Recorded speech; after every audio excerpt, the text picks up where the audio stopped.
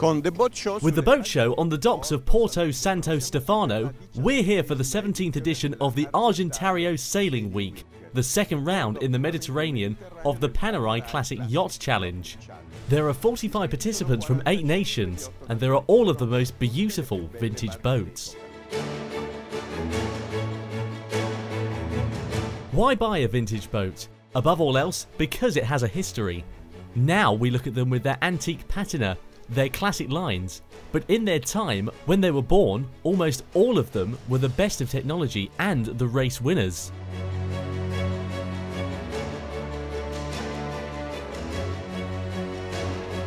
Behind me, two great protagonists of the America's Cup.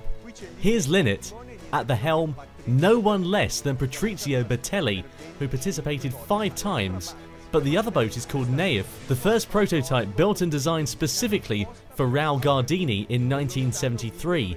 Just think, here in the regatta for classic yachts, two great protagonists of what? The most technological race that there ever was. The passion for sea and for the sail is always there. There are two stupendous 20 metre boats designed and built by Herreshoff, Rowdy and Chinook they have seen a hundred years of life and of navigation. How does it feel to sail in a boat that has been around for a century? Uh, we're here this year at Argentario Sailing Week uh, with Rowdy.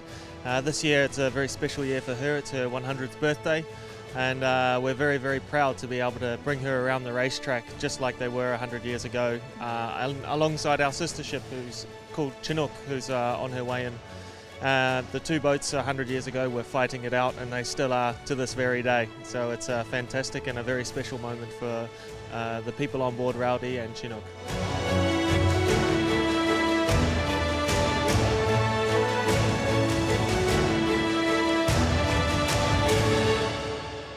Among the most admired is Linnet, 1905, also designed and built by Herreshoff. About 20 models have been built for members of the New York Yacht Club, which even then loved monotypes.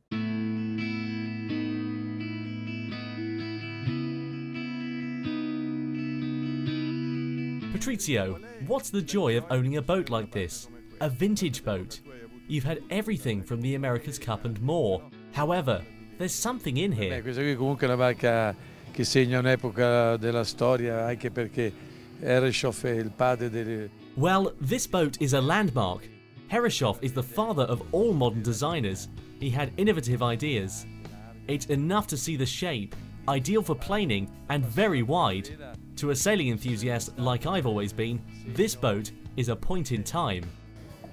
Max dal foiling. Max, from foiling to displacement.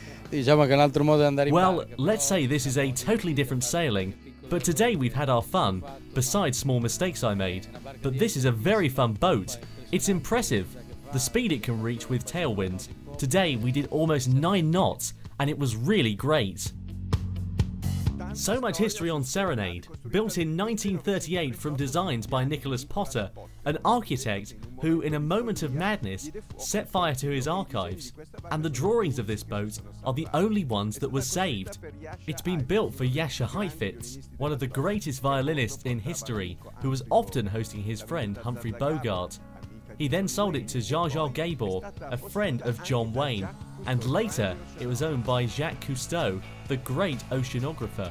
Of great violinists, it's said that their soul remains in their instruments. Did you find any of their soul here? I haven't seen any. È stupendo che con la conoscenza di questo mondo di Hollywood ha visto che It's amazing that with the knowledge of this world, of Hollywood, since every Hollywood star had a racing sailing boat. It was a world, truly an unknown world, and it's interesting to see that in this last 10 year period, there are a lot of American boats bought by Europeans to come into the Mediterranean Sea. The Med is wonderful for racing.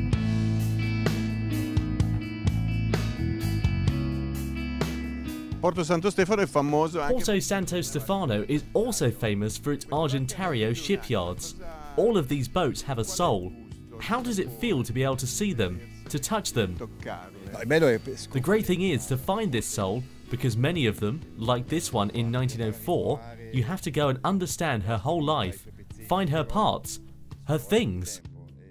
It takes some time, and then one also discovers the lives of people who have sailed on it. And then people knew her from the past, or have relatives who did come forward.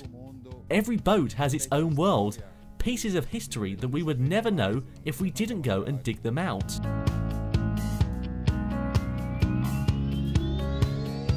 Atrevido is a historic boat of Sparkman and Stevens Studio. Atrevido vuol dire sfacciato.